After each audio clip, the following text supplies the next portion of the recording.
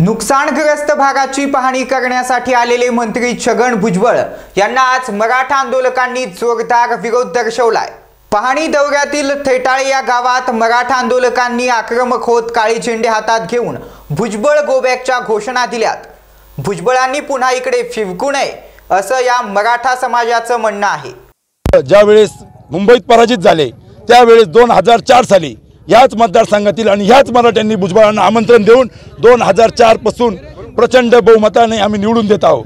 आम्ही त्यावेळेस कुठली जातपात पाहिली नाही. आमच्या मराठ्यांचे असतील आमचे नातेवाईक असतील त्यांचा पराभव आम्ही केलेला आहे. आणि आज केवळ भुजबळ साहेब त्यांच्या जातीचं समर्थन करीत आहे. त्याचा आम्ही तीव्र शब्दात निषेध करतो आणि येवला मतदारसंघातील मराठा आणि इतर समाजात काय ताकद आहे हे दाखवून देण्याचा आज आम्ही प्रयत्न केला आहे.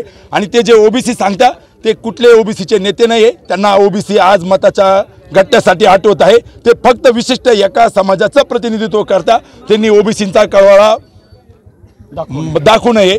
या मागचा वीस वर्षातला त्यांचा पूर्व इतिहास सर्वांना माहिती आहे. त्यांनी ओबीसीसाठी काय काय केलं आणि काय काय नाही. त्यामुळे गो बॅक भुजबळ!